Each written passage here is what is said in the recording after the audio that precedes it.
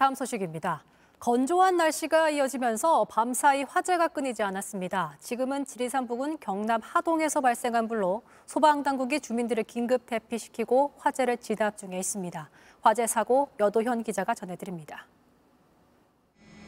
산 중턱부터 연기가 뿜어져 나옵니다. 헬기가 가까이 가자 하늘이 온통 뿌였습니다.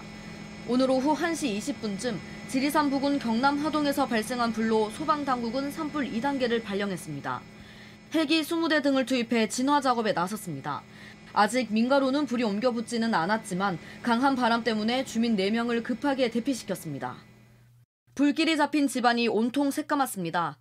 바닥과 벽, 가전이 모두 까맣게 그을렸습니다.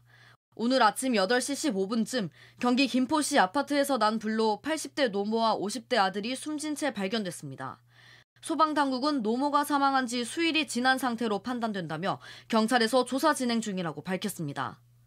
불과 까만 연기가 건물을 삼켰습니다. 불길이 잡히고 드러난 건물은 형체를 알아볼 수 없을 만큼 탔습니다.